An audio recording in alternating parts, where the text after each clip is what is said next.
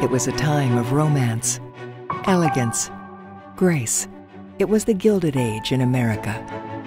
And its impact on St. Augustine is thanks, in large part, to a man by the name of Henry Morrison Flagler. The cultural landscape of architecture, art, and opulence, cultivated by Henry Flagler, still flourishes today.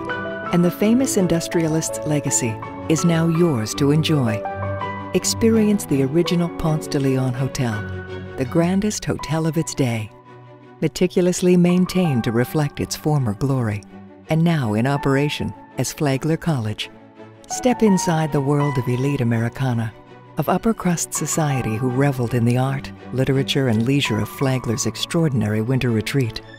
Then plunge into the reimagined Alcazar Hotel, now an unforgettable dining event inside a vintage swimming pool at Cafe Alcazar and an eclectic collection of Gilded Age treasures at the Lightner Museum.